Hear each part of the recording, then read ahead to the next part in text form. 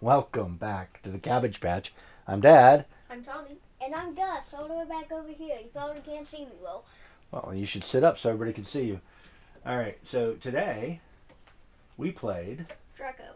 Drako. Drako. This one is Dragon and Dwarves, uh, and it is a two-player game, which is why they're on this side of the couch, uh, because they helped each other play as the dwarves. Um, it's an what they call an a um, asymmetrical dual game, right? So there's two players. One player in this game is this huge Dragon.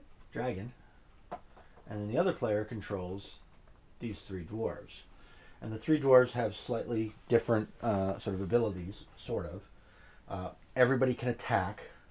Uh, one of them can shoot arrows, and that's this crossbow guy. One of them can throw a net, and that's this guy who you probably can't see very clearly, but he has a net.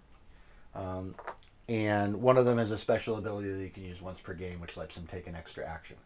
So the game is divided into turns. Each turn, a player takes two actions, right? Right? And what are those two actions, Tommy? You can use a movement card to move.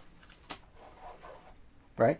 You can you can attack. No, the, the actions are use a card use a card or draw or, cards. or draw cards.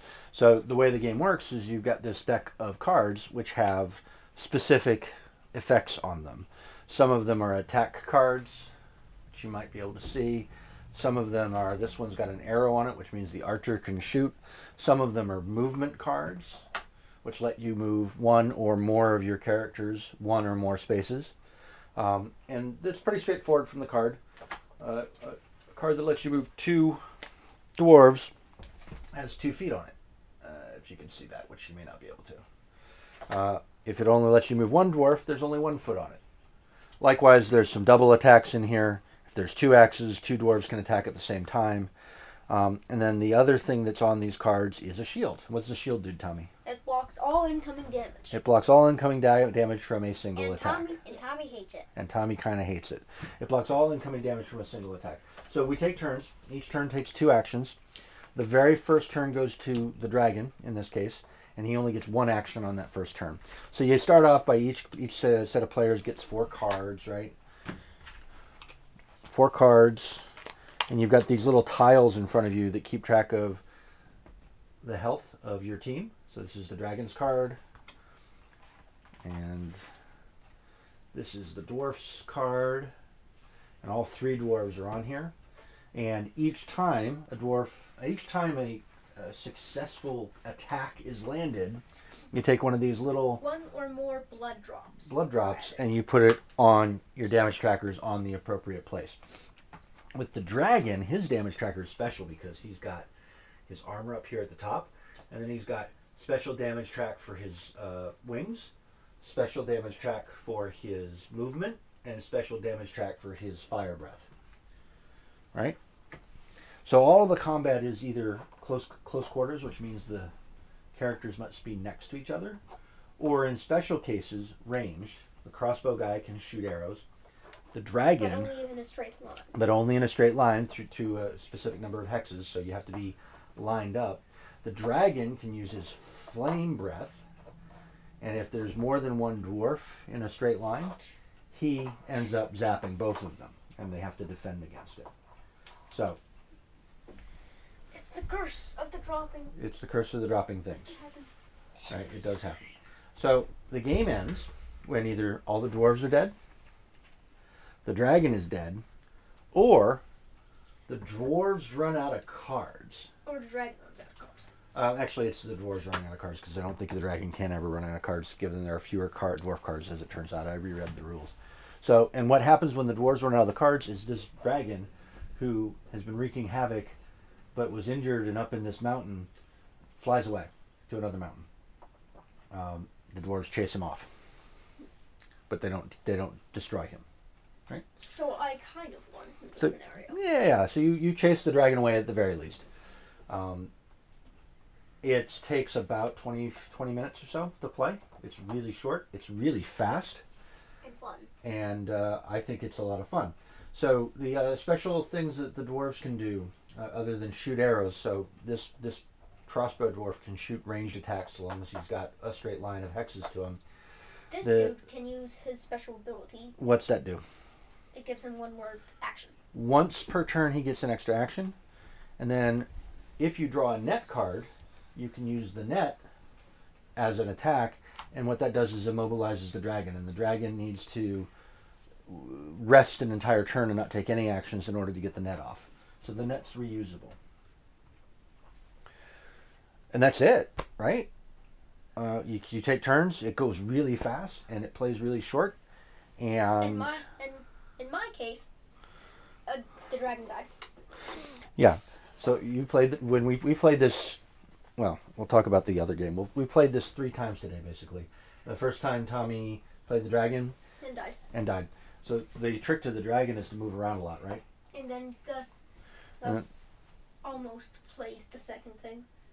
Yeah. And then the And second then time we played, the, second time we played with the dragon, we switched sides, and you guys almost won. Right. And we're only I only had a few hit points left. Well, kind of one. Yeah. And but the dragon chased off. Um, and that's it. Now the interesting thing is this game has a companion game called Drako Knights. Knights and Trolls, which has three knights and two trolls in it. So the knight figures are similar. And it's set up the same way. It's got a slightly different game board, but that's okay. We'll talk about that in a second. And two trolls. And the two trolls are as powerful as the dragon.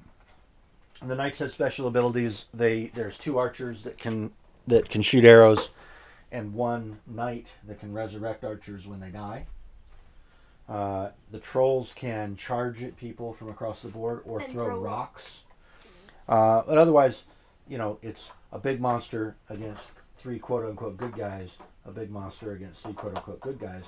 And the beauty of these two sets is they can be combined so that you can have three knights against the dragon and three dwarves against the trolls.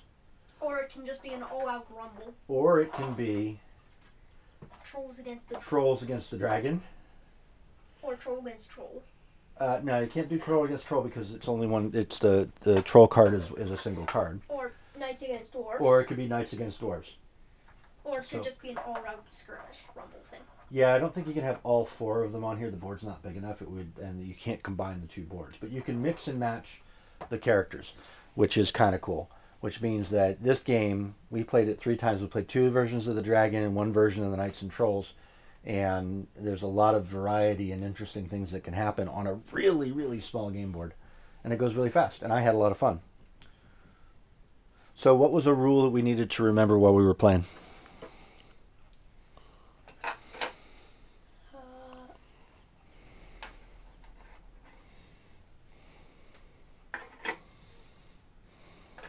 uh, I don't know. You don't know? I it was it wasn't that complicated. How about you, Gus? Was there a rule we didn't think about while we were playing?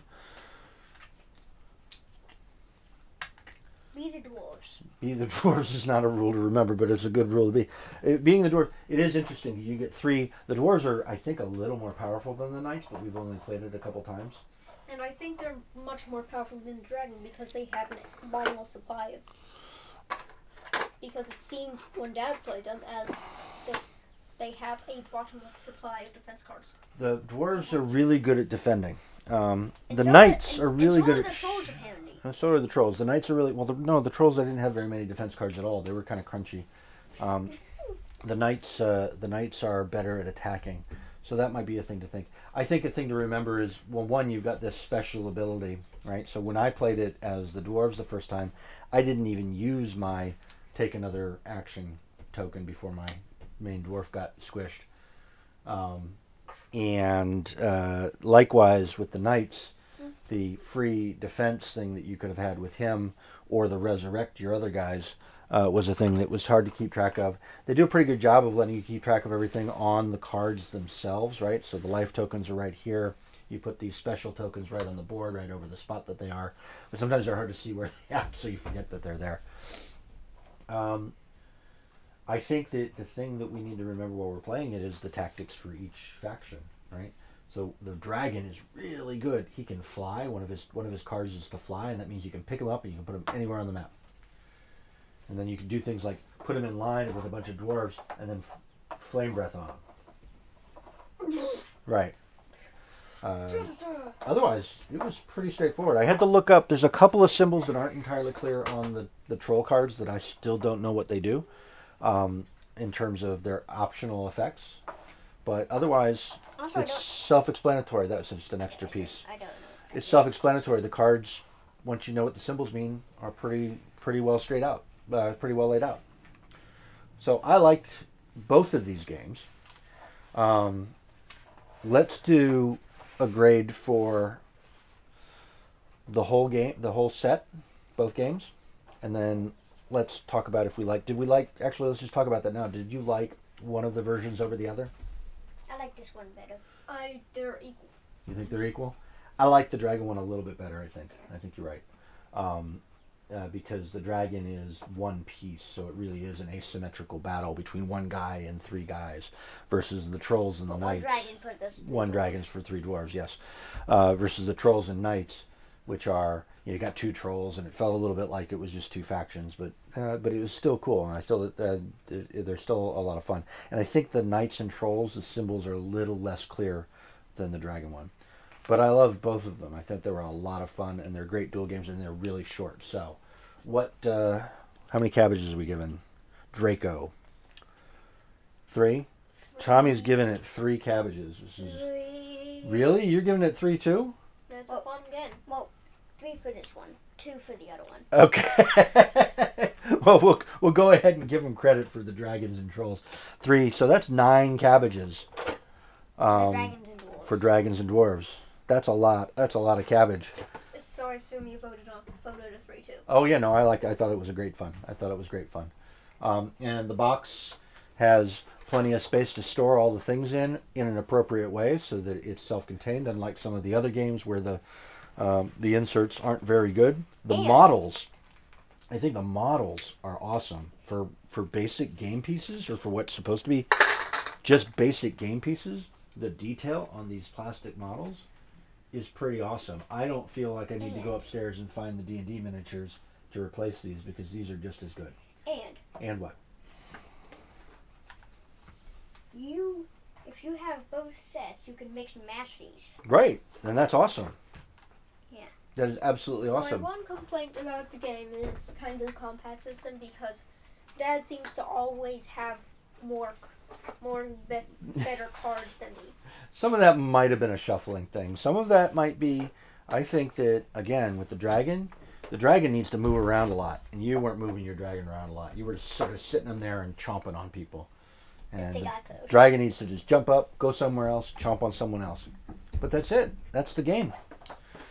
All right, so nine cabbages, eight if you count Gus's lower grade well, for the trolls. technically, it got eleven cabbages. No, it didn't get eleven cabbages. Yeah, because No. this one, it got two. Yeah, but only two. So we're going to treat them separately. So if we treat it separately, this got eight cabbages, and this got nine. Although Tommy and I think that they're both Equal. equal. I, I thought you agreed with me. No, no, I think it's I think it's great. I think this I think this is I think Dragon is a little better than Knights and Trolls, but I'm not willing to lower my score because it's still a fun, fast game. So that's it. Uh, It's easy to understand. A lot of fun to play. Combat system is not my favorite. Really straight. It's really simple. It's really straightforward. You either hit or you don't, and you either block or you don't. And Dad seems to have a bottomless supply of.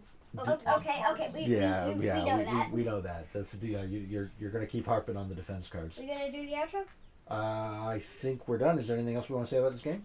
Uh, What did you think of the dwarf models? They're neat. They're good. All of the models are pretty good. The All the dragon models are model was really my good. favorite. The dragon model is my favorite. When I first got it, I thought I was going to have to go upstairs and get a D&D miniature, but I don't think we need to because it's pretty cool.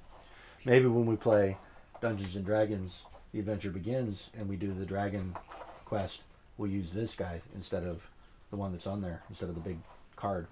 Yeah. Because this is a pretty good miniature. Um, I think that's it. I think that's it. All right. Well, thanks everybody for watching. You want to do the outro? Subscribe, like, hit that bell, Tommy. Leave a comment if you wish. Eat plenty of cabbages, not us. though. And that's it. And thanks so much for watching. We'll put the playthroughs up uh, as well here shortly.